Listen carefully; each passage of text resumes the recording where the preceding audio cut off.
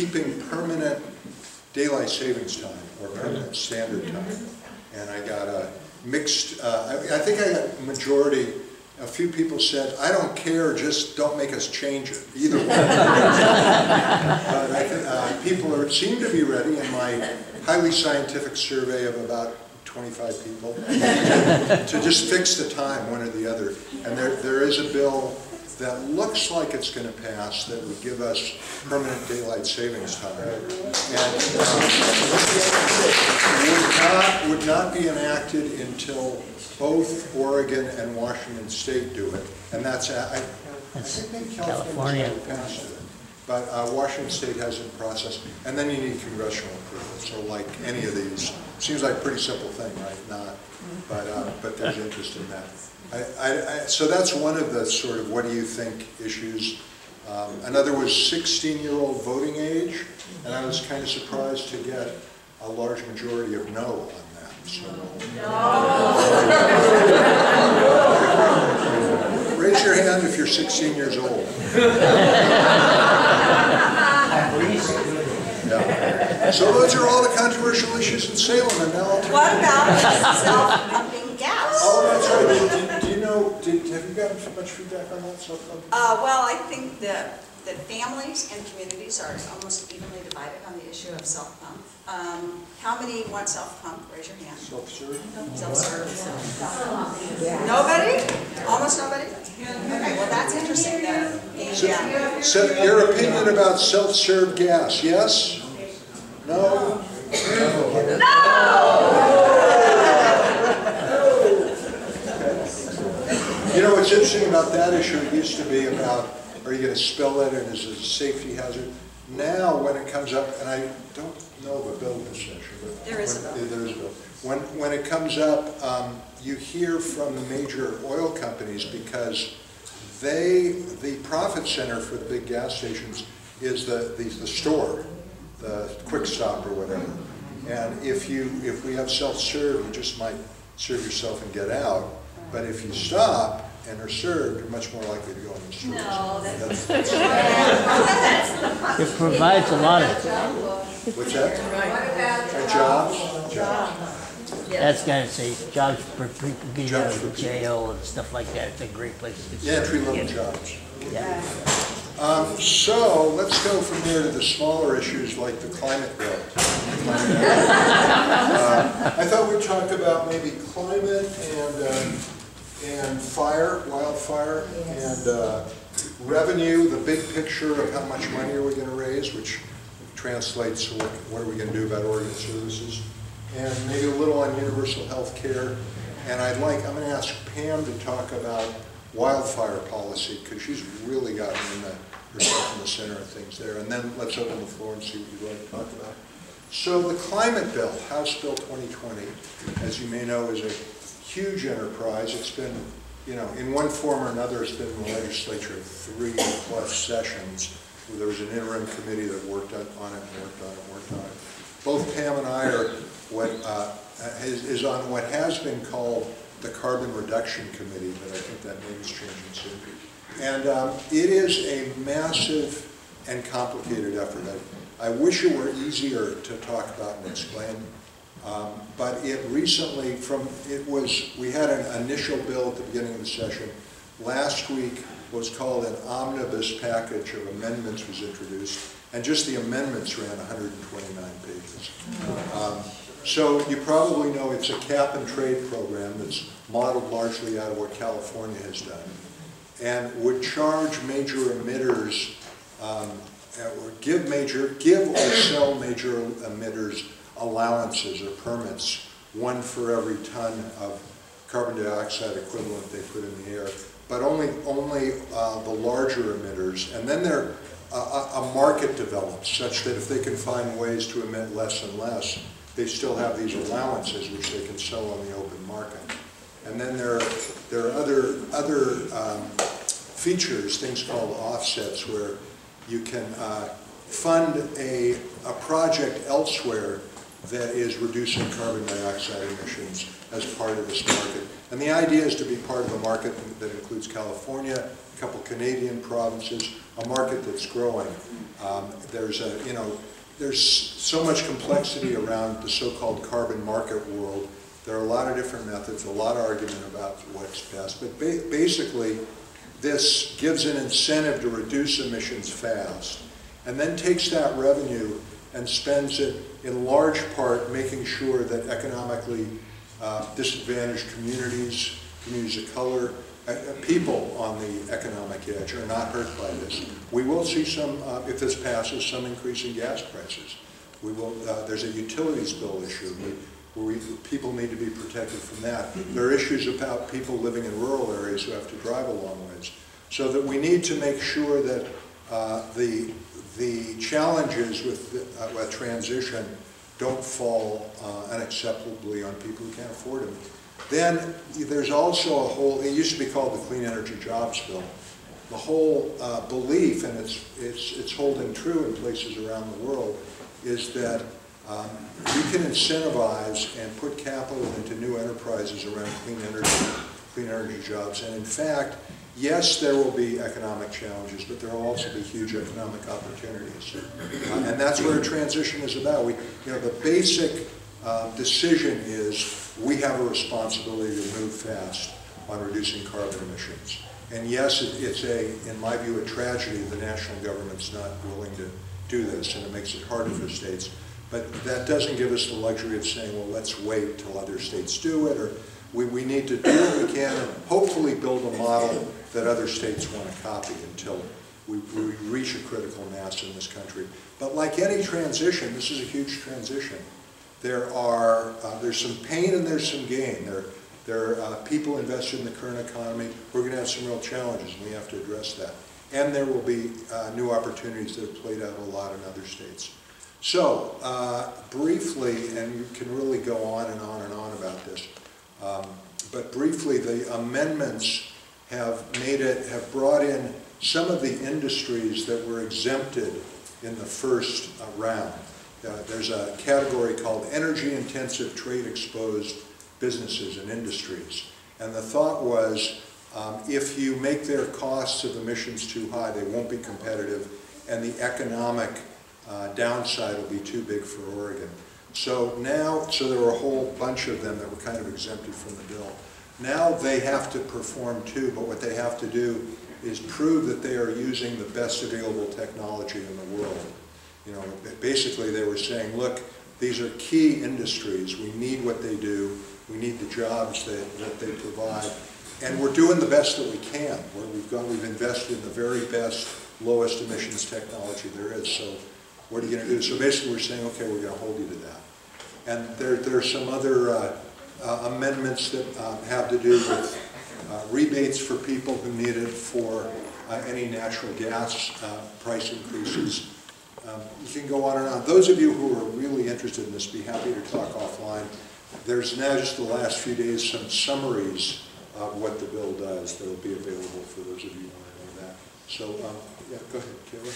Well, um, listening to hear what your position is on cap and trade versus a uh, carbon tax, or the um, tax uh, that would, is paid by big corporations would go back to low-income people to offset their increase in uh, So that, gasoline bills. That, uh, that's something called a fee and dividend, where you, you, you charge for those emissions. And then actually, there's a, there's one model where a check goes back to everyone, and everybody benefits.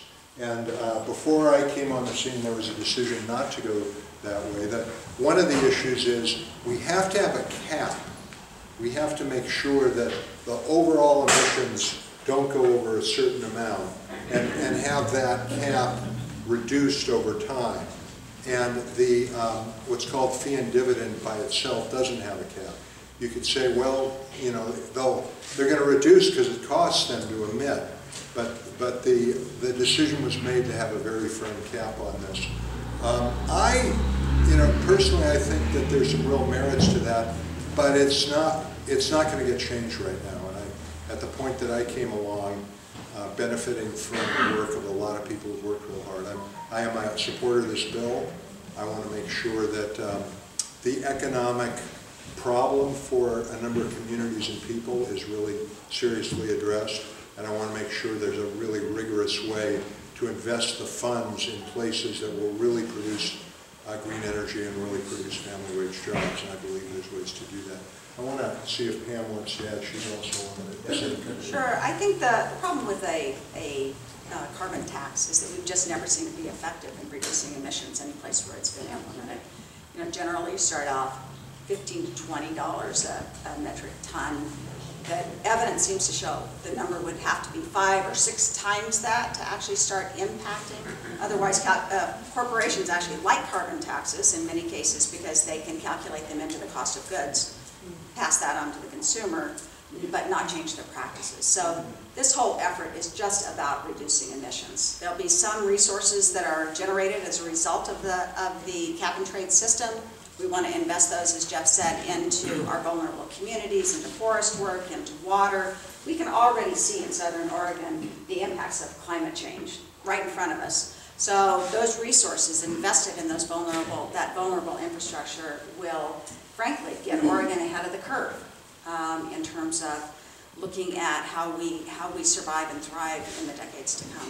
So I think, I mean, that's, that's my problem with the carbon taxes. We gotta have something that works. Let, let me move on, and again, in your question, we're going to have, leave the bulk of the time for questions and comments, so if you want to return to that, that's fine. I know for a lot of people, me included sometimes, your eyes can glaze over when you get into the details of this. Um, I know a number of you uh, are, have worked really hard on uh, universal health care for Oregon. And the session started with a bill that's really a resolution. I think it's Senate Bill 770. I usually, one, one of the reasons I, Pam's, uh, I like to be around her she remembers bill numbers. and I haven't- Uh, So, uh, 770 was introduced by Senator James Manning from Eugene. And really, it was a resolution that Oregon is committed to affordable quality health care and access for everyone. And what has happened is it's, it's been amended so now that it is, it is, rather than just the intention, it creates um, a study group that builds off a study that the Rand Corporation did some time ago and looks at where Oregon is now. There's, there's a belief that we are ahead of the game relative to most of the nation, partly because of our coordinated care organizations, partly because back in the Kitzhaber days, we started a system that ranks the importance of different health procedures uh, and, and the public health benefit. And that's, that's further than other states have gotten. So this study over the next few months would describe in great detail, how do we get there? How do we get from here to affordable universal health care in Oregon? So there's a hearing on that Monday where I'll be testifying. That, that's where that's at right now. So we won't see a systematic change this session. It's, uh, it's like, uh, was it Donald, Donald Trump who said, who knew healthcare was complicated? Yes, Yeah, I just have a question. I keep hearing the term, healthcare would actually mean disease care. To me, legal healthcare would have to do with preventing disease. indeed. And if you work with a bill like that, it should really emphasize prevention rather than waiting for people a. You're right, and so, you're absolutely right. Healthier people, more affordable care, it's true. And I mentioned before the prioritized list, and that doesn't get much publicity anymore. It was a big deal when at the time Senator John Kitzhaber and others, Alan Bates before his legislative career worked on this too. Uh, Traveled around the country, the, the state for over a year, hearing from thousands of Oregonians and created this list. And towards the top of this list, the things we're going to fund first are largely preventive, preventative, sorry. So the- in that way, Oregon's got the message that you're giving more than most other states. Yeah, yeah, did you? Yeah. Um, My concern about state-controlled health care is that the state tends to get controlled by the pharmaceutical companies, and there's a lot of us that like to go for alternative uh, remedies that aren't, you know, chemical and radiation-based, and if everything gets consolidated, uh, centralized, that's where you get the corruption and the big money controlling my life, and that's what I don't want. I hear that. Yeah. Yeah, I hear that.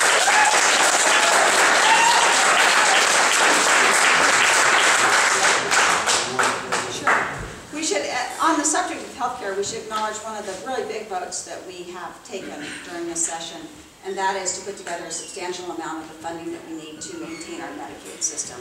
You know, when we expanded Medicaid a few years ago, or OHP as we call it here in the state of Oregon, Oregon Health Plan, um, now we have about a million Oregonians, including 400,000 children on Oregon Health Plan.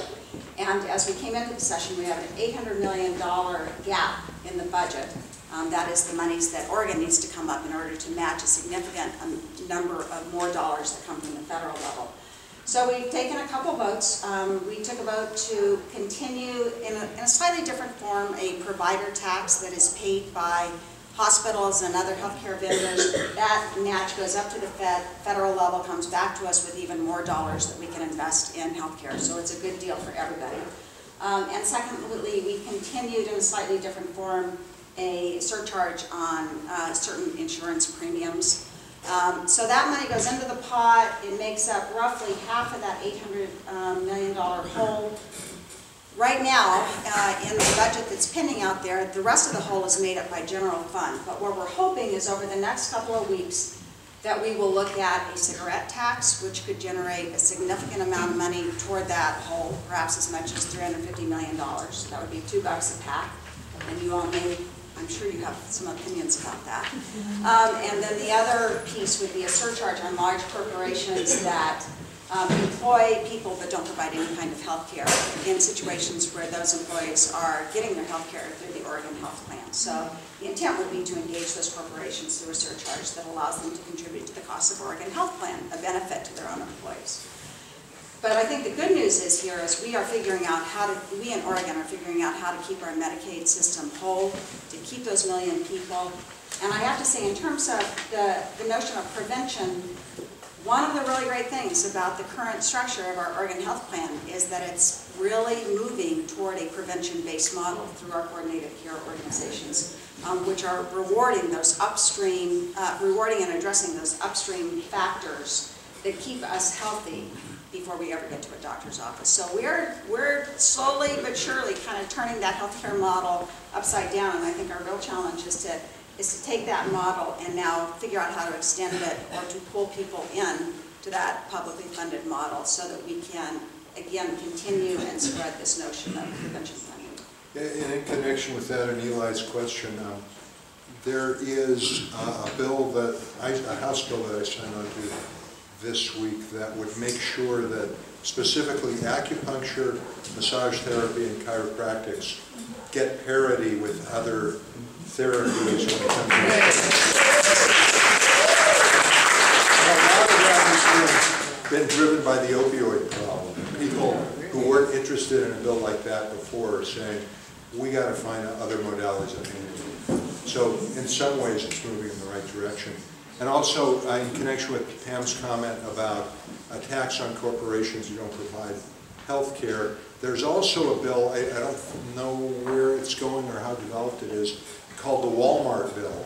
And is it the same bill? Yeah. So essentially, not just healthcare, but public benefits generally. The effort would be for corporations doing business here over a certain, certain size, assessing them the amount that their sort of underpayment of employees is costing us in public benefits. I don't think that, that's the methodology, uh, that the methodology's totally worked out on that. But the idea is if you, if you, someone who works full-time should be able to afford the basics. Radical concept. So, um, and you taxpayers should not be subsidizing Walmart employment. That's, that's. Yeah, um, yes. So on the issue of health and uh, preventative care, uh, many in the community are concerned about uh, the issue of microwave radiation emitted from smart meters, from cell phones.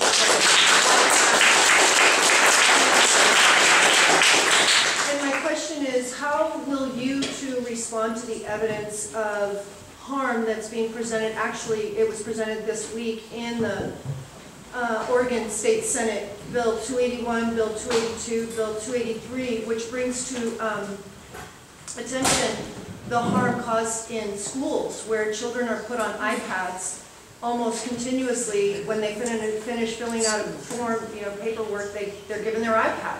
And European countries are showing in- incredible harm from these devices, and yet we have no regulation, the FCC is not regulating.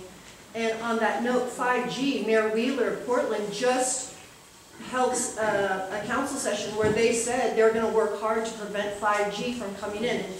We really wanna know what you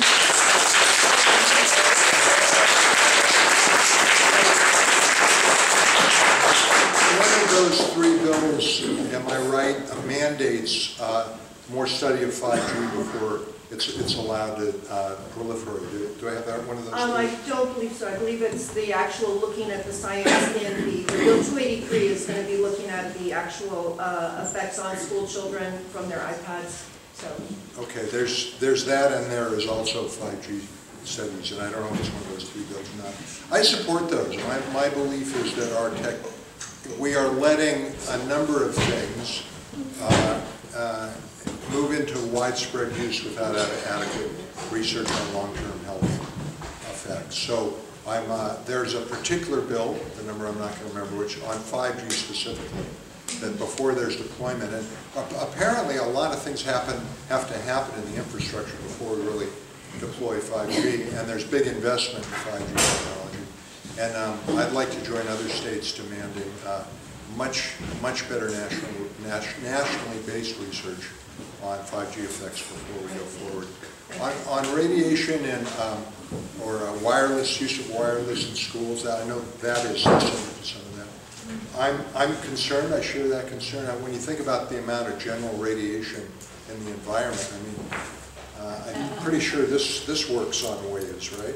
Uh, I mean, they're everywhere, and um, and it's not like there's no research, but the abundance of, of this has not been adequately studied, in my view. And 5G, if I understand right, is sort of a quantum leap to, to a much more intense uh, protocol. In schools, you know, I, it seems to me that um, in schools at any rate, we could move to requirements of hard wiring rather than wireless. And, but, my good friend uh, Pam Marsh, who has been working hard on rural, rural broadband, which I support, points out some complexities about that. So let me give you the, my statement, complexity. I think, um, first of all, uh, we should acknowledge the FCC has, we may not like it, um, we may think they're doing a bad job, but the FCC is actually in charge of regulating and making uh, comments on the health impacts of all of these items, the smart meters, the, the, um, uh, the wireless applications, the antennas that are in your community, and ultimately 5G. So the law states that decisions cannot be predicated on health impacts at a local or state level. Now, the FCC, the FCC may not be doing a very good job of that, and I tend to think that they're not on top of their science. And what we need to do is really push our federal legislators to make sure that the FCC takes a broad look at all of the science and the impacts of multiple exposures, because I think that's the world that we're living in right now that's different than maybe in the past, is the multiple exposures. And actually issues some very good, sound advice on that. Now, local communities can make decisions based on other factors. You can have, but they're very limited in, in terms of like antenna uh, imposition, or, and eventually, I, I think 5G is going to have some very limited factors as well. The FCC went down the path about six months ago, uh, made a decision that really limited a community's ability to regulate 5G. Now, all of that is tied up in courts. Our cities are fighting that because cities want to have the ability to regulate 5G on a local level or to have some say in what goes on. But we, I, I just want to convey the fact that in some ways our hands are a little limited around this right now because the FCC really holds, holds those cards. In terms of schools, you know, I, I think that's a difficult question. If you look at how any classroom works today and the um, ability for children to engage with technology, a lot of that is predicated on the pads that can move around the room, the devices that can go to any one corner, um, the ways that children can work in groups. Um, talk to a classroom teacher about how technology is used in the classroom in ways that really allow children to learn and practice and engage with each other in different ways. So, you know, it, it, now, doesn't mean we shouldn't be looking at those impacts. But I'm, what I am suggesting though is that the technology has been incorporated into our classrooms. It's a really a significant part of the way we are providing instruction right now. Um, and to walk away from that will mean many changes in, in the classroom environment. Um, let me just note, I see lots of, lots of comments here. Um, I am, I just want to plug my broadband work for a minute. I mean, what we do know is that broadband uh, in some form is really essential to everything that we do in our lives anymore. It's the way we get entertainment, it's the way that we, we we communicate with each other, it's the way we educate, it's the way we organize, organize ourselves politically. How many people here heard about this event online in some form? Right? And there are many parts of the state that don't have simple broadband, which is hard to believe. There are more than two dozen school districts that don't have a, a wired connection. Um, there, 37% of our libraries, which is where people go to be able to use technology, don't have 25.3, which is the FCC acknowledged um, speed for residential communities. So we are working hard to try to develop a source of funding that we can really invest in rural communities so that our counterparts who are out in Lake County or uh, out in Malheur County can have access to some, some of the basic te- technology that allows them to work, to entertain themselves, keep the next generation uh, at home without leaving, without them leaving I for the a big city. about technology being useful in in classrooms. I think it's an established. Real habit loud if you now. would. I think it's an established habit now that technology is useful in classrooms with children. However, being a teacher myself, I don't feel that over the years I've observed that it's that good for the way the brain is wired. And it's wiring brains to miss out on a lot of other kind of learning and coordination of that learning. And I'm a music teacher, so I see the eye muscular uh, coordination lacking. I see the distracted, interrupted thinking. They can't even hold a thought for very long. And it's, it's a definite imposition on these young lives that aren't having a chance to develop normally. So I think we should take the umbrella away.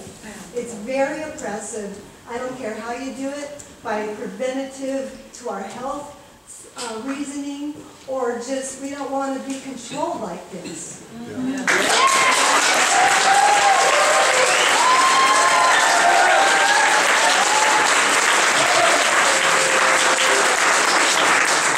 So many want to talk, I want to make one general comment and then, then go to you on all this.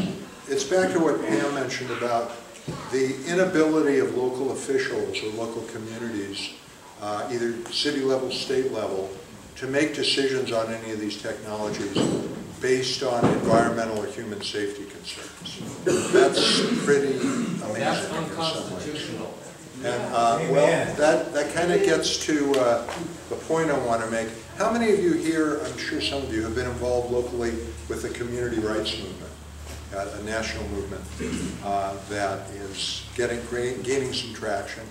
And basically, it says that uh, we have strayed very far from the principles of Anglo-Saxon law and, um, and protection of the commons uh, through about a century of court decisions that have empowered corporations more and more and more, and that lead to legislation like that that says local communities can't pass laws to protect human safety.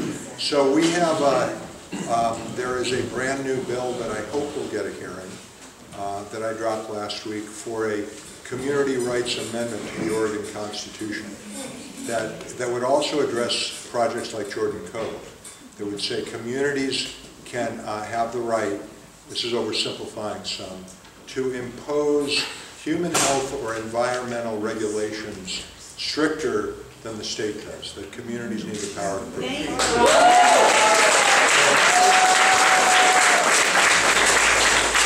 Some would say this is like tilting of windmills. Uh, It's, it's really fundamental to where this country has gotten. But those movements and those proposed amendments exist in different states. I don't believe any states have adopted them. but they're being discussed in different states. I think long-term, this, and may, hopefully not too long-term, this has as much potential as anything to turn the tide on these kinds of issues and give us control of our communities back. And I, I would, uh, raise your hand again if you're knowledgeable about the community rights movement. Go find one of these people if you, uh, before you leave. Can I ask a question on that? Yeah, yeah. Um, it has to do with eminent domain, because that's a national issue, it's not, but, uh, I was shocked when a, a Canadian company building a pipeline can use eminent domain to run its pipeline to people's property. It used to be, and I always said it to be for the community, for hospitals, for necessary, you know, necessary community usage, the, uh, the only time it's gonna be used, and it's fundamentally changed. And is there anything we can do at the state level?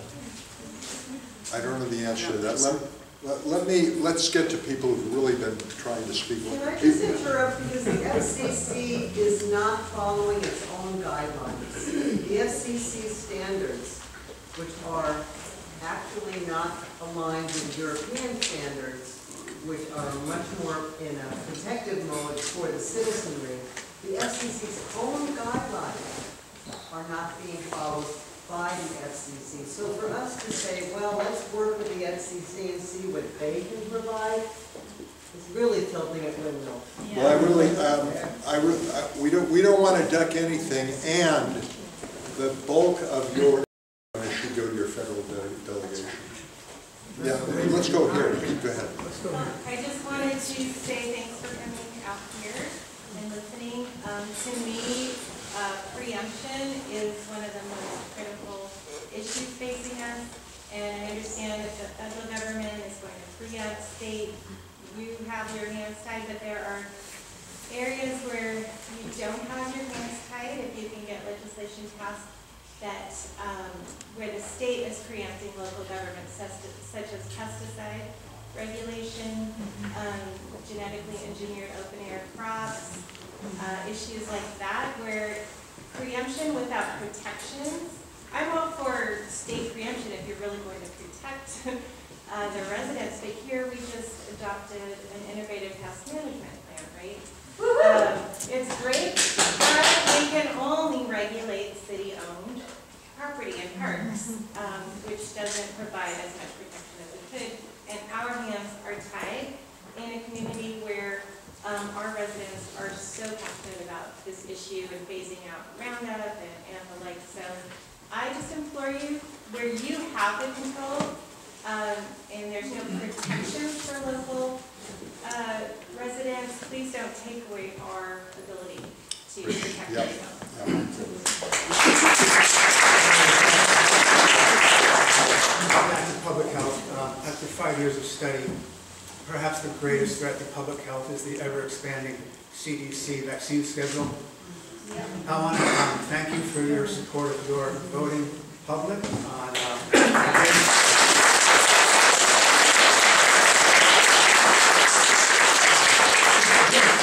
HB 3063, re- removing uh, philosophical and religious exemptions to vaccines in Oregon. Uh, We need to um, uphold the- the exemptions, educate for why people should choose them, and even expand exemptions. Um, It's not just uh, pharmaceutical money interests, but there- there's a further agenda with the vaccine poisoning going on in this country and in this world, and and, uh, I've been studying it for five years. We have vaccine refugees here from California because they passed a mandate. Exactly. And at the hearing, you might have seen, they, um, they said they're gonna have to leave Oregon now if they take away the exemptions. Exactly. So, uh, and I'm very concerned that the pharmaceutical controlled healthcare industry will call the prevention more vaccines. right? So, I think you know how to address that, and I- I'm really glad you're there on that issue. Thank you.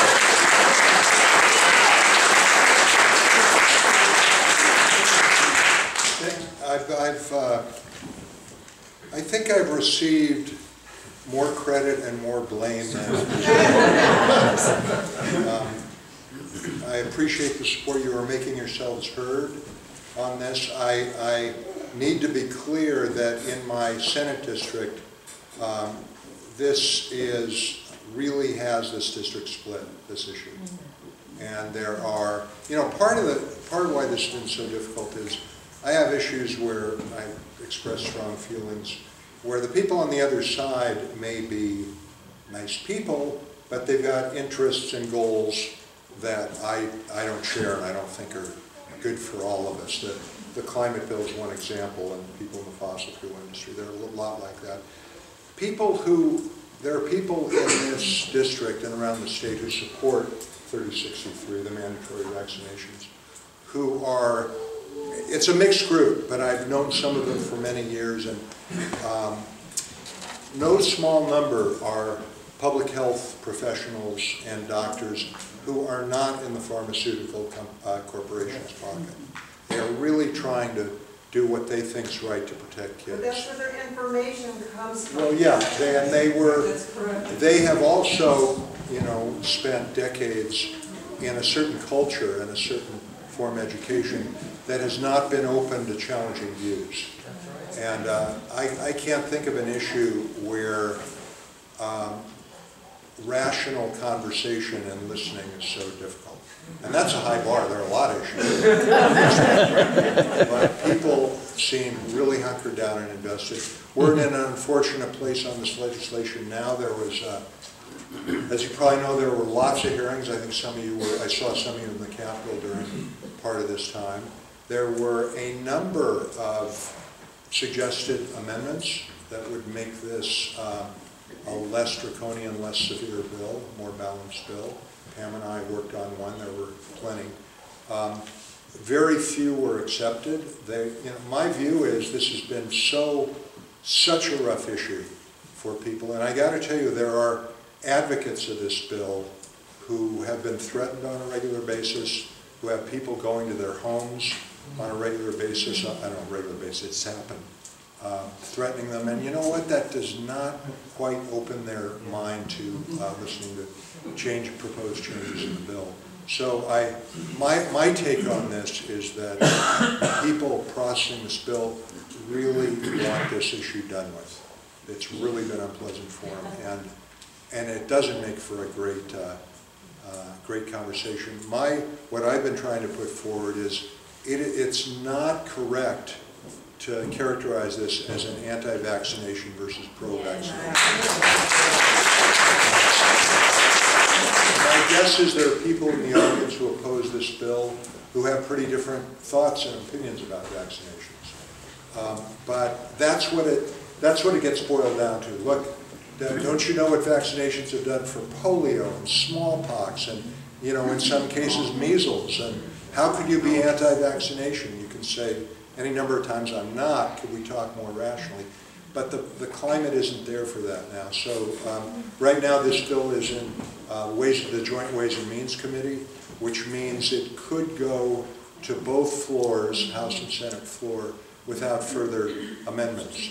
If that's the case, I'll be voting against it. The point I'll be making is we've abandoned any attempt to achieve balance between the public health concerns of the proponents and the very strong belief of Oregonians in informed consent. This is not the least invasive way to address the measles problem. So let's look, and I know, I, someone said there is no measles problem. I know there's diversity. But um, um, that's what I'll be saying on the Senate floor, if it does come to the Senate floor. And, you know, Pam has also withstood um, tremendous pressure from the professional health community on this bill. And let me, let me see if you have anything you want to add. Sure, well, I'll just put myself out there. Um, I, I don't have a problem with the science on this. I know that's probably in con- contradiction to many of you. I accept the science, I accept the importance of herd immunity. Um, But I think as a community, I think as a community, mandating a medical procedure on a child that a parent firmly believes is not in the best interest of the child is, is crossing a line. Um, So that's, that's what the decision I might make today if I'm in, in charge, and if somebody else is in charge uh, next time, what are the decisions that they're going to make for me? So I, I, and I believe that that is, you know, we are a community, we we have a lot of students in our schools that are not adhering to the full vaccination schedule. And Ashland, Siskiyou School, seventy percent of families um, are not current on their vaccinations, whether that means the whole schedule or one. In the public schools, it's typically ten to twenty percent. That's a lot of our community to really draw a line that pushes people to either have to make a decision that they fundamentally believe is not in their child's best interest, or to be ostracized from public school, from daycare, from private school, from school activities, from the high school football game, feels like it doesn't, is not in the best interest of our community. I think ostracizing people and pushing them to the edge is not a good solution. I do think we need to double down on talking about the science and the education and trying to bring us all together in some way that is not so um, divisive for the community. I want to say one more thing um, that I think is really central to this. I don't think a lot of people, or at least not everyone, knows that this also would apply to private schools. That is, and other states have done this for public schools. Um, I don't know that no other state's done it for private schools, but, but we are, um, um, that's really another step in a certain direction. I got a, a memorable call from, I'm going to say, a highly respected um, health administrator who's been around this issue for a long time. And this person said to me, this is a bad bill, and, but I don't agree with the reasons you've expressed. This person said, um, I'm, I, I don't agree with your skepticism about the research of combinations of vaccinations. I think it's stronger than you're saying, and, you know, we should get together because I'd like to talk to you more about that. But the cost to the social fabric of Oregon of passing this bill, of tossing likely tens of thousands of families out of the public and private school system, that cost to Oregon will hurt us badly and ostracize, drive out of really civil society um, tens of thousands of people. And that's too big a price to pay, and a bigger price than we need to pay to address what the proponents say is the problem. But I, I think we should be, we should be clear, this bill passed out of its policy committee, which was the first big um, barrier. It is in Ways and Means. I think it is highly likely that this bill is going to pass. So although people who are so concerned about it should reach out and, and continue to lobby, the, the places that people can be most effective in lobbying is with their own legislators. So, because we've just been deluged in the Capitol with input from all kinds of people. So it's going to be hard for you to get an audience with someone who's not your direct legislator, but people in those communities for legislators can continue to talk about this. But I don't think we should, I don't want to leave you with any illusion that this is still an issue that's largely in play. It is not.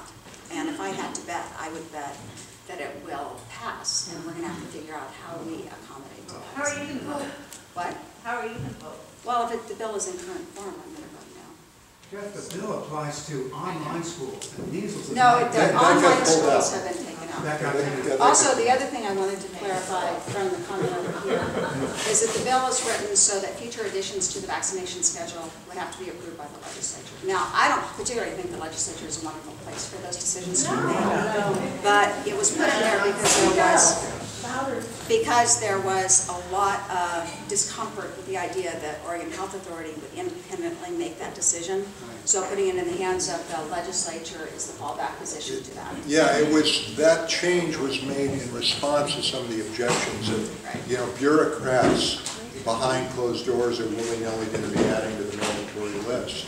So they said, okay, we'll, in full daylight, we'll pass any expansion of the list, which kind of surprised me because they learned to hate this issue. The last thing they want is to bring this up again and again, but that wasn't compromised.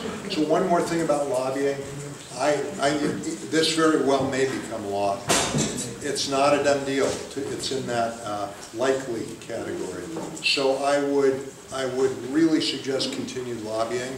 If you have friends. But not on Jeff and me. Yeah. We're we're there. uh, um, But uh, if you have friends friends in other districts. I know there's a statewide organization some of you are involved with. Look at it strategically. Uh, Keep going. Please keep the lobbying respectful. This issue has given rise to some really fiery rhetoric which works against your goals. Also, if there are things in the bill that could make it better and more tolerable, I know for some of you there, there is nothing, but in other cases, if the medical exemptions, which in Oregon are very narrowly written, um, if a change in those would, would accommodate concerns better, you know, think of ways in which the bill could be marginally improved to, to make it more acceptable. That's more likely to be incorporated than wholesale rejection of the bill. I want to thank you for your, both of your leadership on the uh, mandatory vaccination bill. Uh, Jeff, your testimony was exceptional. Uh, I think everyone that hasn't read his testimony should get it. It's just, it's fine. Uh, When my son was vaccination injured, what I found was I had excellent health insurance. Everything that made my son worse to recover from his injury was covered by insurance. Everything that made him better, I paid for out of pocket. That's what real medicine looks like. It's authentic, it's traditional, it's safe. Vaccinations are unavoidably unsafe. My child took a bullet so people can pass a bill based on what?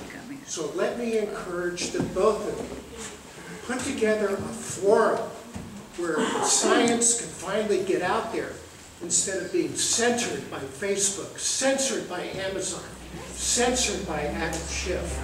This is what the two of you could do. Let's do a forum so we can really the science.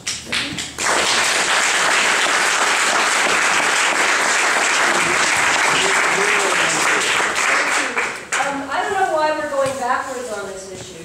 Uh, It used to be you had to be, either, either have a medical excuse or belong a recognized religion, uh, and then it was taken away, and it was about your deeply held spiritual beliefs. So, um, in, in terms of, Source has given us a natural immunity. The Chinese believe that those childhood diseases should be had because they build immunity. Uh, it makes us stronger. Um, so why are we going backwards? As long as, like, I do believe that our natural immune system is the best thing. And, and we have a, a whole branch of natural medicine of children vaccinated and never well since. And talk about, and Ron Paul talks about, he's a doctor, he likes vaccination, but he never wants to impose it. Um, you just have to look at the billions of dollars that the pharmaceutical companies have had to pay out for injury from vaccination. And the vaccines they're giving now, they're crazy. When we were kids, we got a little bit, and now they're just sticking these babies with all this, you would never put a toxin right into the bloodstream. Uh, in homeopathy, you give a little bit of diluted poison. You can use homeopathy for instead of vaccination. And I want to get back to something else, and that is, if wireless technology, which is far from green, we have at least 40,000 peer-reviewed studies, non-industry paid, that show harm from wireless technology, including our own $25 million National Toxicology Program study that shows beyond a shadow of a doubt that cell phones cause brain, prostate, and heart tumors. Uh, why are we, we also need to look at the non-industry paid science. So, um,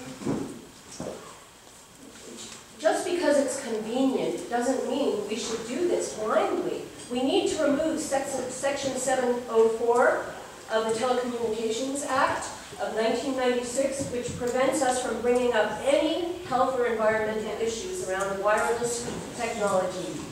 We have at least 15% of the population that experiences microwave sickness from all of this. You can hardly get away from it, but it's real, and a lot of people have health issues, they, they're not connecting the dots. So, Ethernet is great, landlines and Ethernet, and, um, and we have Senator Richard Blumenthal from Connecticut and Representative Diana Eshoo, who have put the FCC on notice to say, show us the studies and show us that 5G is safe. Finally, something's happening. This is critical. The, the health bills that will go up, I mean, you can look at the military studies from 1971. Could, could I ask you to wrap up, because we've got so many Okay, showing 200 effects, seizures, strokes, childhood leukemia, not to mention bee loss from cell phones, bee colony collapse. So get educated and, and go for the landline and the ethernet, and turn your cell phone off when you're not using it, and unplug your microwave if you one, and unplug your modem when you're not using it. Okay. Help the children. Stop now.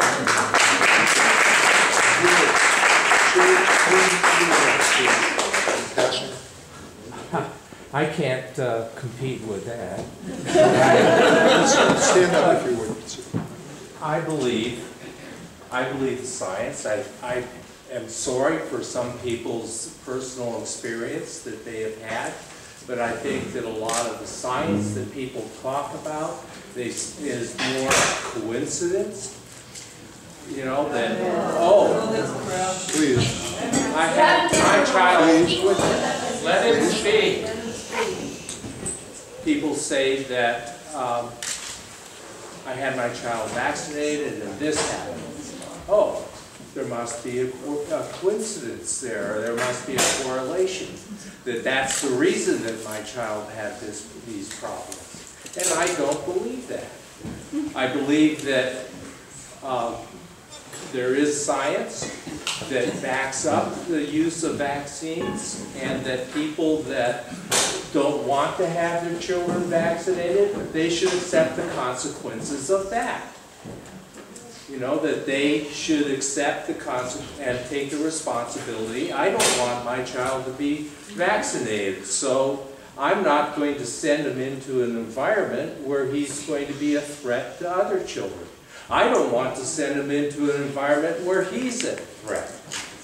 You know, come on, parents, take responsibility for what your decisions are. That's what we wanted to go, exactly. One at a time, please. Okay, did you, I yes. Um, I've been, uh, doing some research helping the Oregonians for Medical Freedom try and, and put their information together, because they're all professional medical people, they don't have a lot of time. I do, I'm not professional. But I have discovered some really interesting things, including documentation of, I think it's about fifty vaccine patents owned by the uh, CDC. I have seen this. I, I've not just read about it. I'm sorry, I found- say that again. I found the links to the actual patent information that the CDC owns. It's not for the, uh, the injection itself, it's for all the pieces of, of these injections. You know, the different, uh, the, the delivery, the, in the parts that make it up, okay? The CDC owns these. Some are in, in,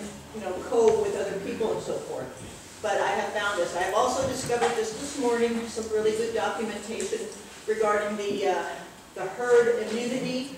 That's absolutely false. Herd immunity was, was first discovered, I'm sorry, I forgot the guy's name, in uh, 1929 or 30 by a researcher, medical researcher, and he came up with his theory, which has been convoluted and turned around to mean, yes, well, with the vaccines, we'll get herd immunity. That's not what it means at all. I have so much documentation, and if you could, um, if I could make sure that you would look at it, I would be happy to share it with you. I'm not gonna send you a bunch of wow wow videos. Let me, I I bet a lot of people want to speak on this.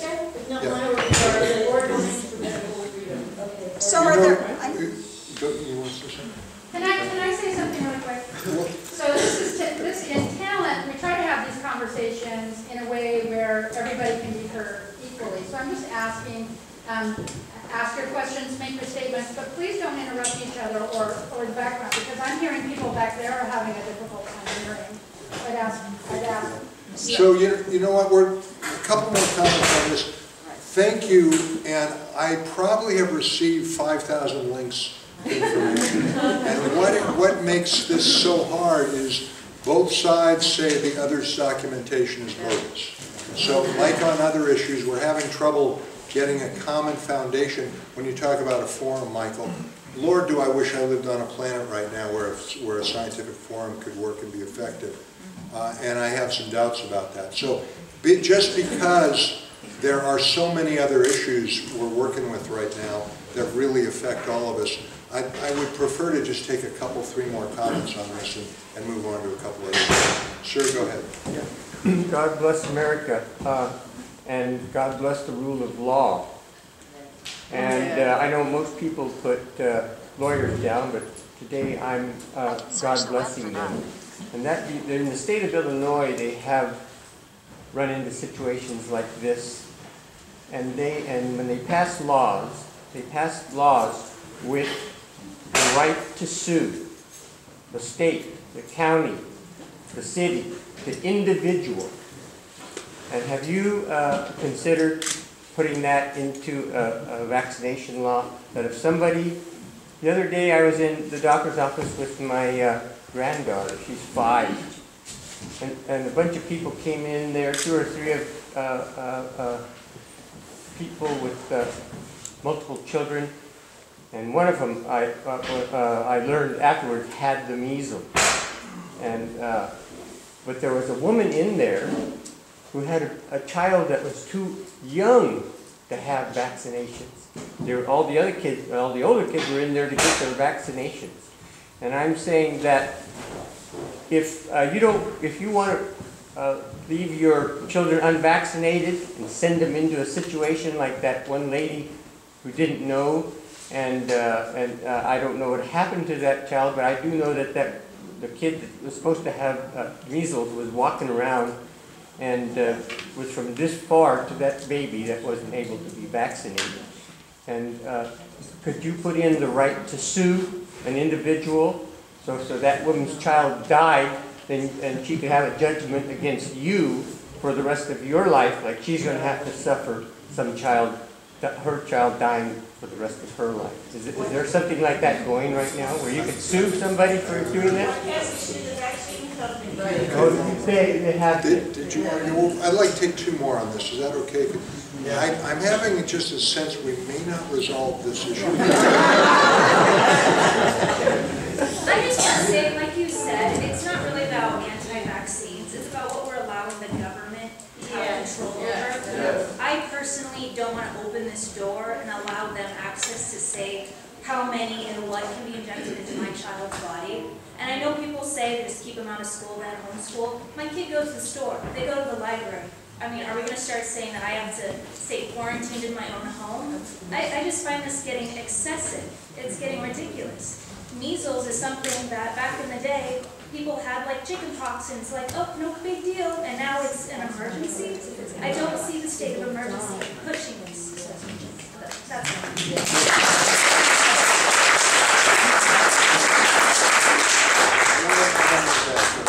I, I feel like if, if the, um, the government is mandating vaccines, they need, I think that the uh, language is gonna be completely changed. If the government mandates vaccines, they are completely responsible for the financial, for, for paying for those vaccines, and also completely liable for any kind of injury that happens. And I think that the- if that, if that were to happen, the language would completely change, the science would completely change, as well as the, the pharmaceutical and the government is taking the responsibility, the financial responsibility of paying for the vaccines and any kind of injury that happens, then we're going to see a different kind of, of reaction and a push through this bill. Let me take a, a quick sense of the room. We have maybe half an hour left. Would you raise your hand if you'd like to um, continue this in an open way and let folks continue to speak to this? Uh, Today? Versus, would you like to move on to other topics? Yeah. Move on. Move on. One more time. Uh, Keep with this conversation. Uh, Move on to other topics. Yeah. I think that's what we're going to do. Thank you. We're still open to input. I think you've heard where Pam and I are on this. Uh, There, I think there are probably undecided legislators on this bill. Uh, Through, I guess, Oregonians for Medical Freedom, you can find out more about who they are. Keep talking. This, this is not decided. I think Pam, Pam is right. It is more likely than not to pass, but it's not decided. On all, on our- everything that issue that really matters to you, keep lobbying, keep contacting your elected officials. Yeah, Yeah, I, um, just want to say about another, line of medical treatment on it. just, just a little louder. if you Yeah, they're about to spray, uh, tetracycline and streptomycin in all the orchards around here. And it gets on people that live near the orchards. Uh, what would you recommend we do about that? We get neonicotinoids later in the year. Yeah. Hideous. So there is a bill right now, not on the first two you mentioned, but am I, am I gonna dare trying to pronounce this word? Chlorpyrifos? There is a bill that would ban that in Oregon.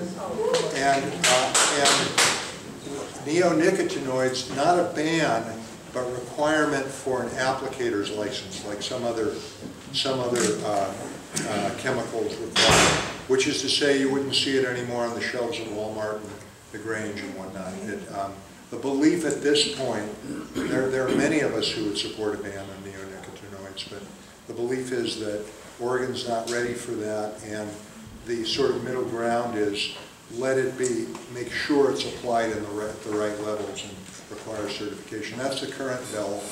Um, There is a really vibrant statewide organization, I think, had an office in Phoenix, they still, Beyond Toxics. It's- Are they still there? Oh yeah. So I would recommend going to Beyond Toxics and find out what's going on on those other substances. Would- Well, it's, it's just too little, too late. We have trucks, tanker trucks spraying, spraying glyphosate on public roads unannounced. People jog on it, their pets run on that. The stuff drifts in from the orchards into the school here in town. It's Harry and David's is like two hundred feet from the school. I think your concerns will And, um, founded. know that, we're saying, oh, the federal government has all of the, the cards. Well, can't you insist on notifications, odorizations, and, um, fines for drift that, that doesn't require. Is there anyone here from Beyond Toxics? I know those people very well. Okay, good. Can I, can I have a comment?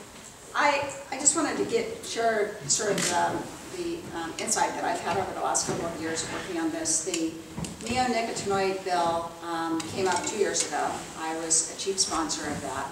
We didn't get anywhere. In the meantime, we had a big issue over the last two years in Ashland with the misapplication of Crossbow.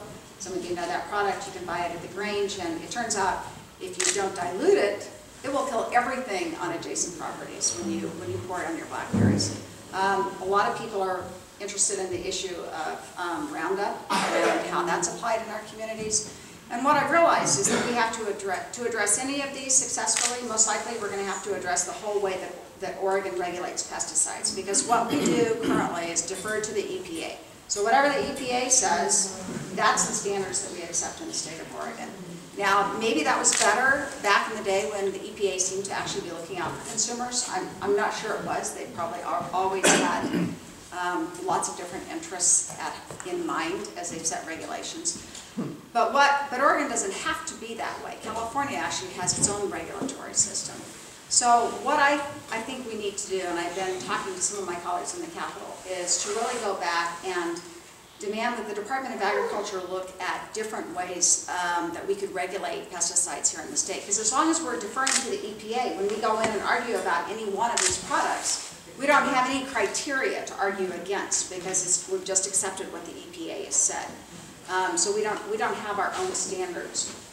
And, and This is parallel to the CDC issue as well. And until we, um, in Oregon, have our own uh, means of assessing significant products, the product lines that are allowed, um, it's going to be a whack-a-mole kind of thing. You know, we're going to be arguing against criteria that we can't even define. So it's a, it's a big fundamental issue that's going to require um, deep, a deep dive. Half the insect population of the planet is gone, and we're sitting around saying, well, what can we do? Yeah, got. Go ahead. Thank you. do more. This is And thank you very much for representing us. You do a fine job. Thank you. Thank you very much. Um, I've heard a lot of subjects come up this morning that are very poignant to me personally. And I'm about to mention one that probably involves everybody in this room, including you, probably. Um, We've talked about 5G, vaccines, and Jordan Cove, and pesticides, and uh, corporate power, raw corporate, corporate power, um, specifically Pacific Power. And uh, we've probably all got one form of meter or another on our homes right now. Those who, you know, have followed suit and tried to use the opt-out options that Pacific Power has offered are not really opt-out options. They're more like extortion. It's like, if you choose to opt out, then they're gonna charge you thirty-six dollars a month for that privilege. And uh, you don't really have a say in that at all. Otherwise, they might just shut your power off if you refuse to go along with it. Well, I, I have refused to go along with that since December, and I'm logged about three or four payments on those thirty-six dollar a month fees as uh, my So you're form. paying your bill, but deducting the I'm I'm deducting that, I'm paying the bill, I'm paying for what I'm getting, okay? And um, so what I'm up against now is the threat by Pacific Power and the Oregon Public Utilities Commission to cut my power if I don't comply. And besides that, I learned just yesterday that I can't, uh, I can't even engage in their new uh, triennial plan, which makes it about nine dollars a month because they read your meter about three times a year. Okay, that seems like a good way out. However, if you think about that, you're still under duress. You have to pay those fees, one way or another. But in my case, they refuse to engage me in that option because I'm protesting with these other three or four fees that I haven't paid, the thirty-six dollar a month, which was imposed on us before there was even a plan by the Oregon Public Utilities Commission for us to have an option. So how are they legally doing that, and what can we do about it? Somebody here, uh, as we started, was talking about a suit, a lawsuit that was just settled on smart meters. Did- Yes, no? I think something has happened very recently. Well, the PUC, yeah, has been high, first, I- so because of the advocacy of many of you, the um, Pacific Power dropped that installation opt-out fee, that initial installation drop-out fee, which was $137. yeah, so that went away. Um, And then further discussion of the PUC has led to this $9 a month um, option, recognizing that there are some additional costs to reading a meter when you have to send somebody out, Um, but that if it's only done once every three months, and and that'll mean that consumers, you know, will have to budget for that bigger payment in the in the quarterly, uh, at the- on the quarterly schedule, that that's a reasonable accommodation to what it actually costs to send somebody out to read the meter. They don't So- have those figures. What? They don't have those figures. They're guessing. Well, they're doing, you know, the, the PUC and actually Pacific Power went to the PUC and asked for them to review this option for them, to allow them to, because the PUC tells the utility companies what they can do. And there is an organization called the Citizens Utility Board, CUB, uh, which is out there for consumers. It's paid for by the state to represent consumers in front of the PUC to review all of these dockets. So the, the Citizens Utility Board has been there looking at this. And I think it is, um, you know, I think the nine dollars a month is uh, definitely been instituted because of recognition of um, the, the impact of that larger fee. So I think we made really good progress as a result of the advocacy. We have, but they're insisting on back fees for the thirty-six dollars a Yeah, month yeah, and I- to even engage in that. Yeah, and I'm happy to talk with you later, but I I don't think I know what the policy on that. One more thing, Bill thirty-one seventy-four, what happened to that bill? It was introduced a few days ago, or was going to be. And uh, uh, our Jackson County Commissioner Colleen Roberts was going to do a commentary on that in the legislature until she found out the bill had been suddenly withdrawn. And it would have given us the right not to be charged for these meters. It was the right to have a, a analog meter installed at no additional cost. It was withdrawn, and I would like you to reintroduce it. Yes. Yes.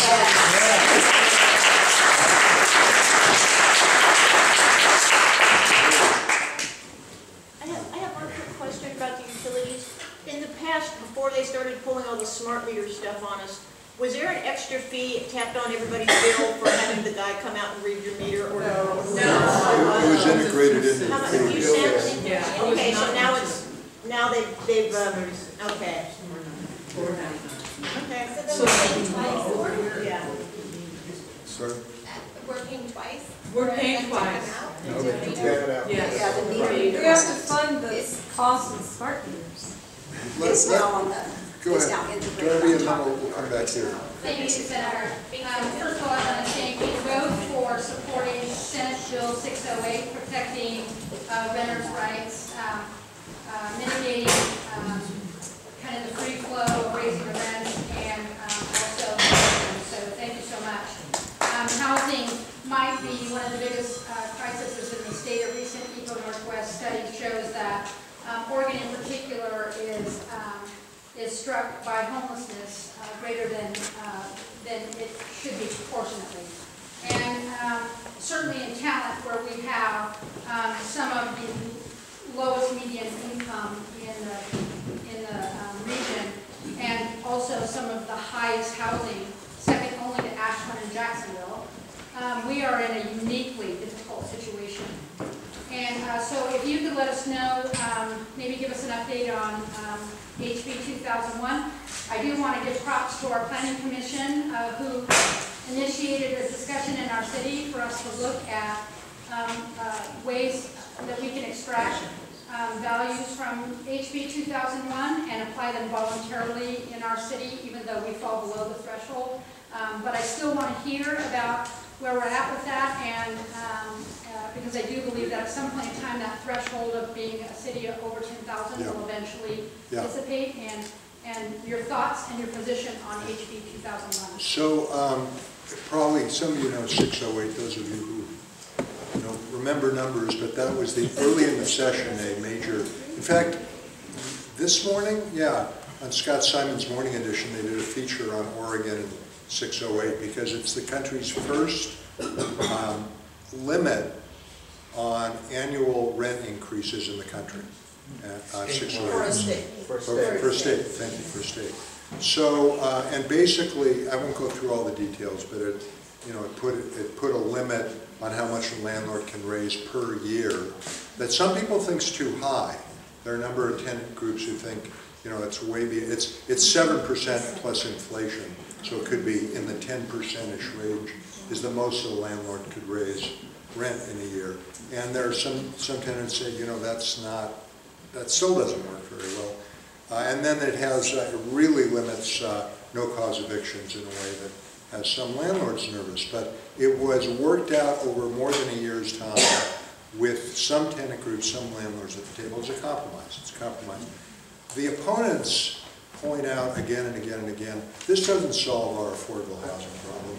And the people who voted for it, Pam and I, never claimed that it did. That's not, it's not to sol- solve the problem, it's to staunch the bleeding of so many people who are um, housing insecure, losing homes, ending up on the street, unable to afford a healthful home.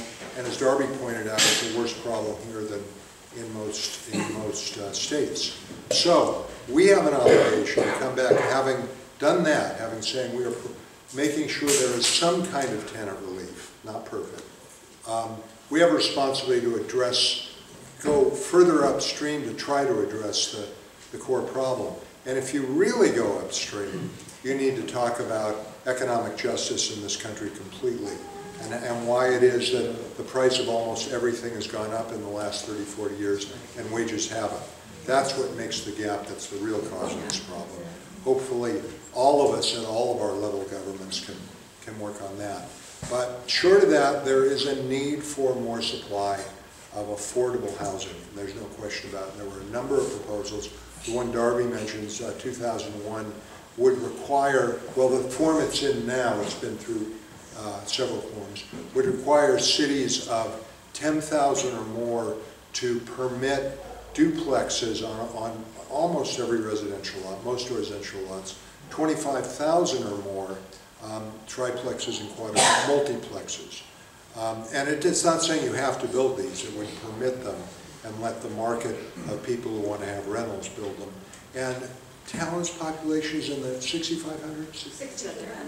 Yeah, so, so this per- particular bill would not apply to Talent, which, by the way, is doing a great job with no nudging from state government. But that's not true of all cities. There are a lot of cities whose folks are telling them, we're fine, don't make us grow. And others, I live in one that will name, nameless about four miles down the road, um, that where people, by and large, are really wary of um, densification of their neighborhoods, more units, more cars, more traffic.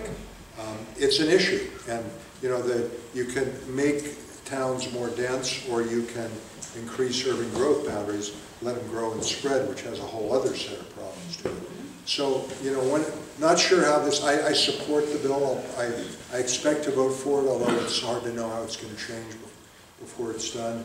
And, um, you know, we need to, when we talk about solving this problem, part of this is looking in the mirror. And uh, for many of us, those of us who are comfortable materially and live in kind of nicer neighborhoods that aren't very dense, kind of, um, it means that we're going to see some changes that wouldn't be our first choice, but that is part of solving the affordable housing problem. Can can I just add on to that? Hang on one second, go ahead. Um, So, so 2001 enables us to grow within established neighborhoods. So where you already have streets, and you already have schools, and you already have infrastructure, a single lot might have two units on it, or three units on it, instead of a single, single-family home. I think it's important, when I talk about this, to talk about not only does this potentially contribute to solving the housing crisis as we get more units out there on the ground, I think there's a strong argument to be made that it creates much more interesting neighborhoods to live in. Um, my house was built in 1905, originally as a single-family dwelling on a lot. Over the years, density happened naturally, because that's what people did. They put a cottage in the backyard, they put a unit over the garage, they put a studio in the attic, and now my house is no longer, strictly speaking, a single-family residence. But I've got my 90-year-old mom living in the cottage, and a couple living in the unit over the garage, and a 19-year-old living in the unit over my head. And so what's not great about having, allowing a neighborhood to be able to accommodate all kinds of people who wouldn't otherwise traditionally be part of that, of that landscape. So I think it's a really important bill. I'm a, I'm a chief sponsor on it.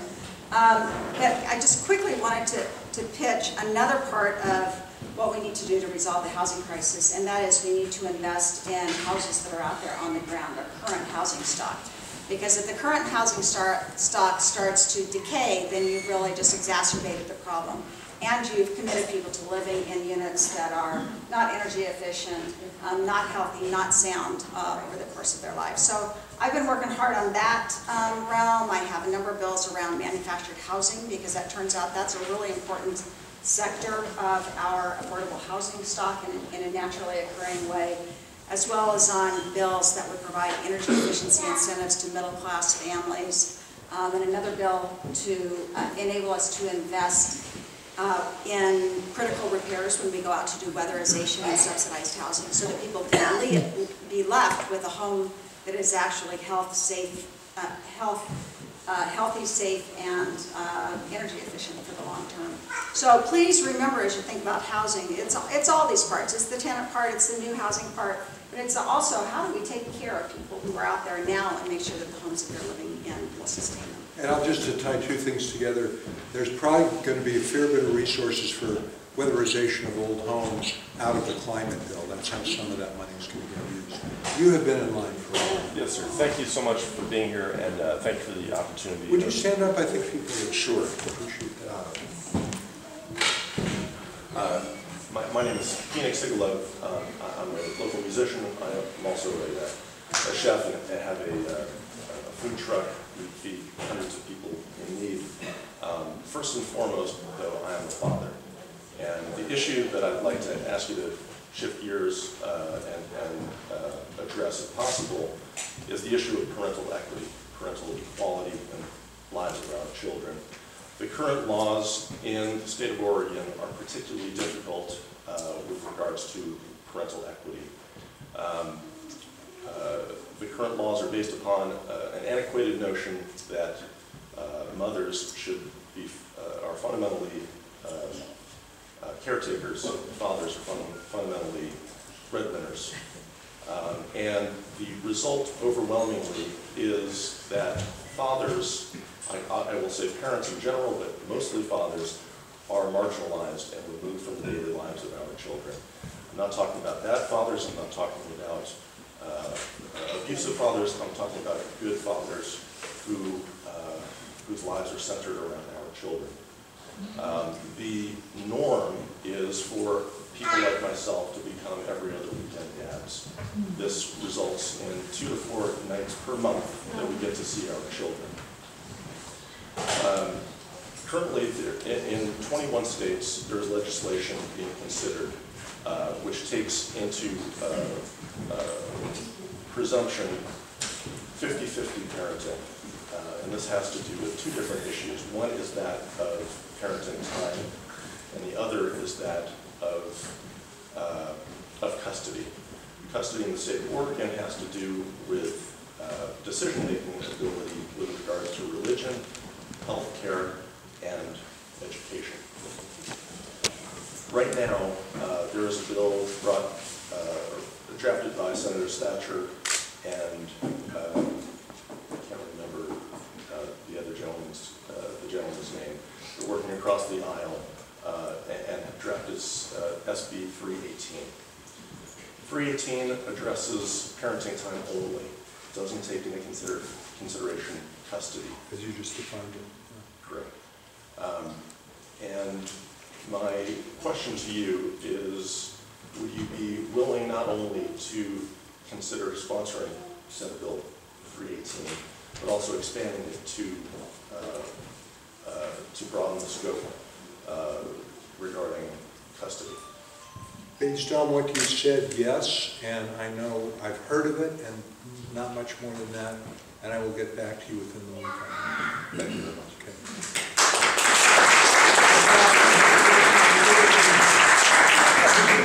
People who haven't yet uh, talked, go ahead. Okay. Um, Thank you again. I do not live in your community, but you represent me. I have to say that. And we've met many, many times.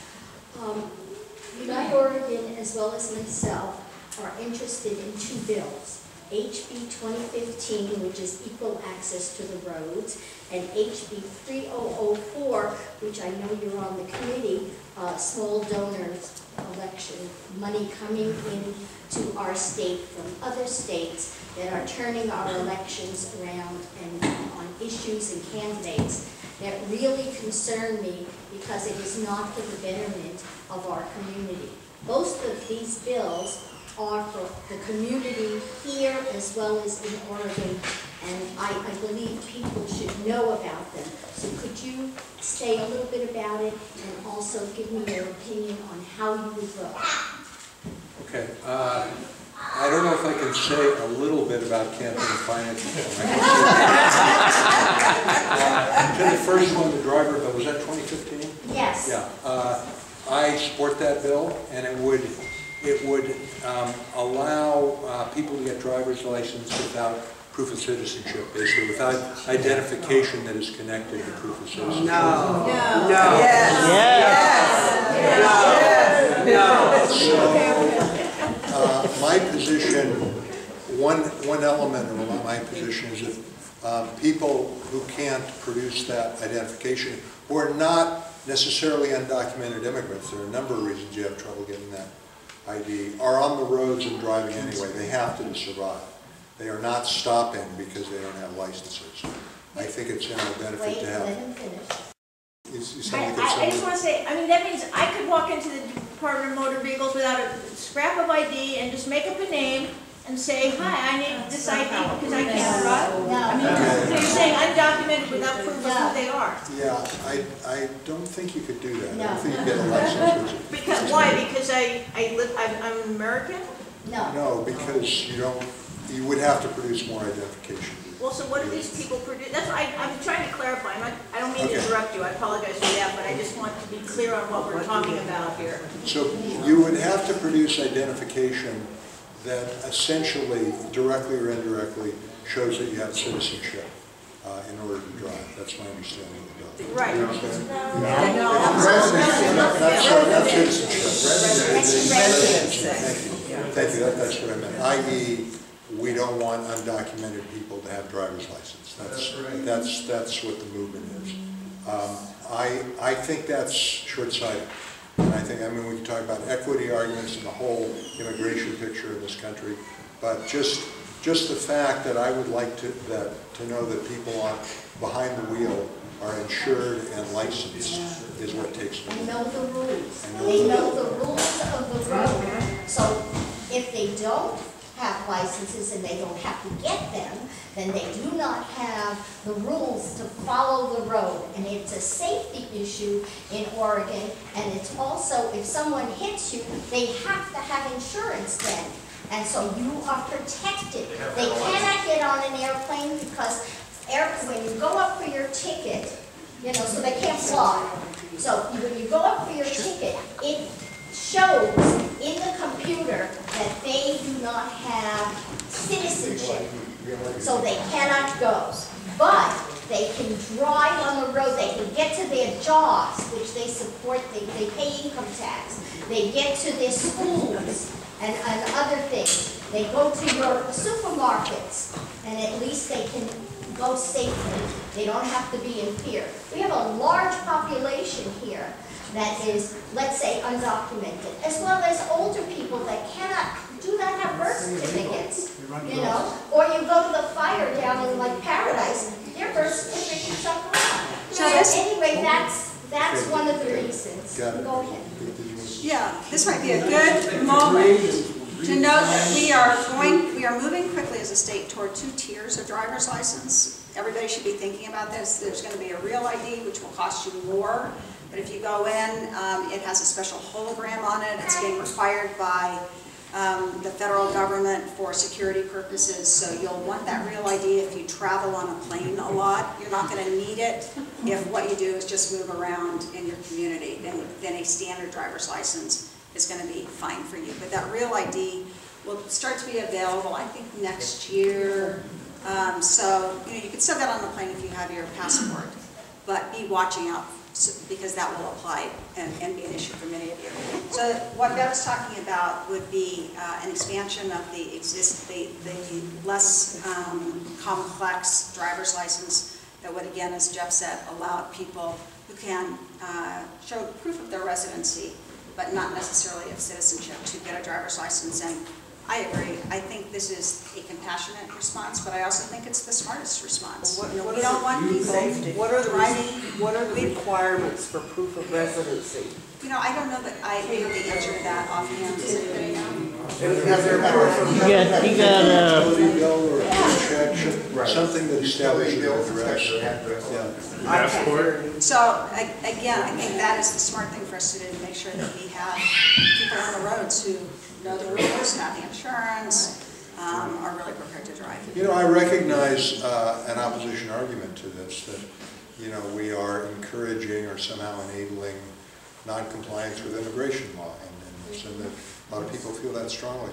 I would just say about that, that our immigration law is, is a criminal mess right now, and we've got, to- that has to be addressed. In the meantime, I'd really like to minimize the number of people driving on Oregon roads without license and There, there is And a if I add problem, there is one- problem with two, two tiers of justice. There's justice, legality of American citizens, and then there's the justice of non-American citizens, and they're not being applied equally. And, and that's the same with, with a whole lot of things going on in America now. That, you know, everybody should have to follow the same law.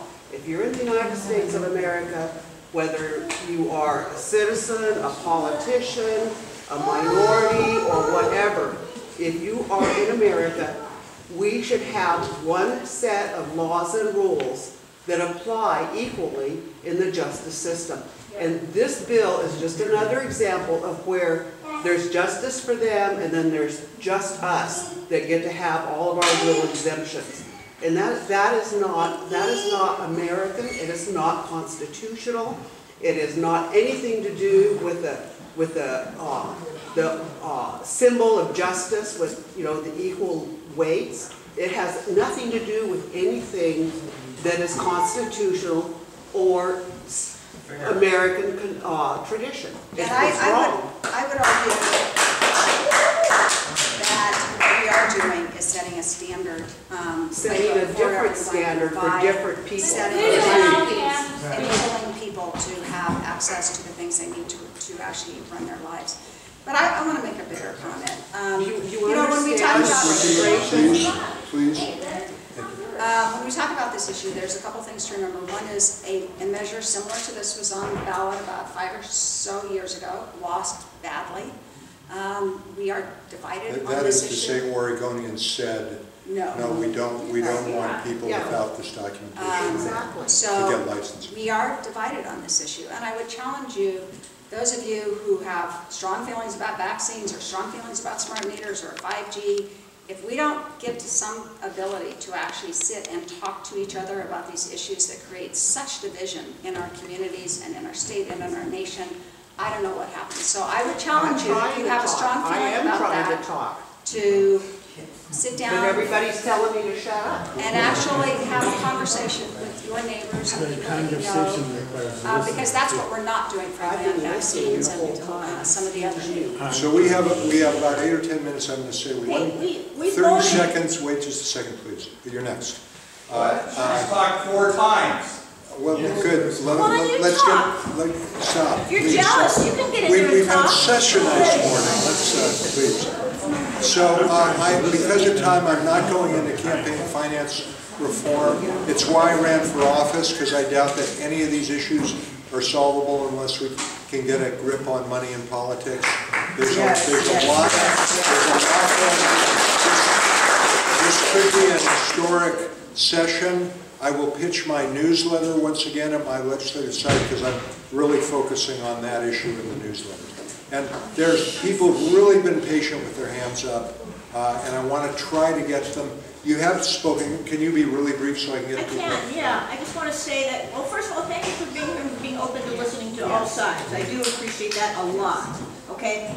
Well, the thing is, we voted on that, giving driver's licenses to undocumented people. We voted no. So why, when we vote on something, does it just go, oh, we're just going to take that, we're going to do it again? Like, we're, why don't our votes matter? Well, that was five or six years ago, and I So- think there's a sense that all, all issues need to be revisited. That's what we voted. Yeah, but Well, they're- Sometimes they're- things are voted down because they're not wholly complete and they can be modified to be better. Yeah, it's, it's a dynamic process. The great majority of things people vote on, uh, the legislature leaves it at that. If there's something that they think's pressing, we who are elected do go ahead and sometimes change it, rarely. And if folks don't like that, you, you have a recourse too, of course. Both electing other people and putting something back on the ballot. Senator, Yes, um, yes. such a short time, can I point out two people that have their hand up? Yes, please, that would help. This gal here and the guy over there in the white shirt have been raising their hand through the whole thing. Thank you. Yeah. You're next. Yeah. Um, I just wanted to bring up something that you mentioned earlier about the community rights. And I think I have a concern about uh, tilting at, at the windmills when we're, when we're overlooking uh, real rights and real powers that we're not exercising. I don't think that there's anywhere where you can show me where communities have rights. I mean, we individuals have rights, every individual in this community has a right, so collectively, we have a right. But communities as a, as an entity do not have rights. And I think it's a slippery slope. Um, I think that, um, we're, for example, in one, uh, community right, uh, I mean, not community, I mean, uh, one right that we're overlooking is a federal law requiring coordination. So anytime the federal government does anything in a, like, in a, local region, they, they must, it shall. That's a legal term saying, yes, they will have to coordinate. And hardly any communities ever require that. And uh, Jackson County is just now doing that on the fire issue. They're requiring coordination with the federal government because they have actually done their own study to find out. I mean, I'm talking about uh, coordination as it relates to 5G, the pipeline, all of that stuff. We are overlooking an amazing tool here. Um, The county, Jackson County has just proved that over the fire issue because they have uh, demanded coordination and they have also done their own assessment on the uh, roadmap to 2020. The CCRI determined that all these wildfires, the catastrophic wildfires that we've been experiencing are the result of climate change. And yet, the county has done their own study and came, came up with the conclusion that it is the 1995 Let It Burn federal policy that has dictated these catastrophic catastrophic fires. And so they are, they're now changing their relationship with the federal government in terms, so hopefully this fire season will be better. Because um, they, they're gonna call for full, full suppression, this is one of the aspects of the results of that. And that let it burn policy must be, must be dealt with. So now, Jackson County, our little Jackson County, went to the National Association of Counties, and they filed a, they voted on a resolution that, eh, that the federal government will coordinate with each individual county on an individual basis, not a blanket policy on fire anymore, because we've seen, the whole West has seen the devastating results of that. Again, had- so these are, these are examples that have been proven to be powerful. So, you know, and yet, you know, there's, and yet there are things where you guys are overstepping your boundaries in terms of what you're supposed to be limiting. We have powers we're not using as individuals, as communities, and we have, we, and then yet the state, la- state leg- state legislatures overstepping their boundaries. So, so if I may, real, real On, on HB twenty twenty, you have Article eleven, uh, Section one of the Oregon Constitution clearly states you cannot set up a cap and trade system. oh, see, now, I'd like to hear more about that, that's the first I've heard that one, so let me know. But let me, if I may, really quickly, the issue of coordination has constitutional lawyers fighting for at least 20 years and be interested in more conversation at some point. But about fires, I, I do want to push back a little against the notion that what we're experiencing now is either all climate or all forest management issues. We've got, um, we are, Pam and I and others are really committed to 2020 and setting a, a, an example for uh, emissions reduction policies that work because we can do the greatest forest management ever and that's not going to solve this over time. And we both have, Pam more than me, and I wish we'd had time to talk about it, I think some really interesting proposals on forest health and fuel reduction that could make a major difference. Why- And we really have to be doing two tracks. Can I ask a question on the, on the climate change? Why is it that I don't see anything, anywhere, on any website about geoengineering? About what? About. So we're all worried climate, and that's not part of the equation anywhere. That makes no sense to me whatsoever. Okay. Who- who- There was, a- who was the other one? I'm going to interject quickly. You don't know me, but I'm Adam. I work for Senator Golden. I'm his legislative aide. Terrific aide, thank you. I just want to say that we're almost out of time, so we really only have time for one more question. Uh, And the gentleman in the white shirt has been waiting.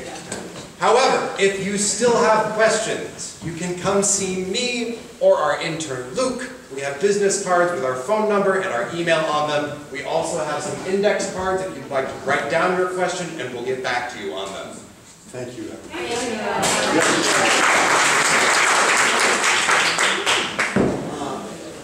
I'm uh, diabetic, and um, uh, I I realize that Trump is uh, eliminating uh, a lot of medical stuff. Um, And I'm really concerned about pre-existing conditions. Uh, I know that uh, he's been jumping on uh, a bandwagon trying to eliminate that, uh, Obamacare. And uh, I'd like to know what uh, Oregon is doing about that. We, we talked a little bit earlier about moving towards uh, really becoming the first state, one of the few states contending for that title to have universal health care on our own. The national government is abandoning the notion of um, finding uh, realistic quality health care for everyone, which as far as I know, every other relatively affluent country in the, in the world subscribes to. We don't think that's apparently important at the national level. So states are, are taking that on. And I can talk to you a little bit more about what Oregon's doing to try and move there. It's not an overnight thing, but there's, Oregon now pretty much has coverage for every child. And here in the high, in the mid-nineties for adults. And, and there's, you know, there are legitimate questions on how do you fund that. I really appreciated the earlier comments about prevention, about how you're never going to be able to afford a system that's structured the way ours is. So there's several moving pieces, but we could, we could talk more. And I'll just add quickly, um, so the pieces to that in- in terms of Oregon are Oregon Health Plan, so we're maintaining the million people on Oregon Health Plan. I think you will also be hearing about proposals to expand, to allow other entities to buy into that model. Um, And there's a lot of good things that can happen in doing that. Uh, It's, it's an opportunity to really expand the emphasis on prevention that we've developed in, in the coordinated care model.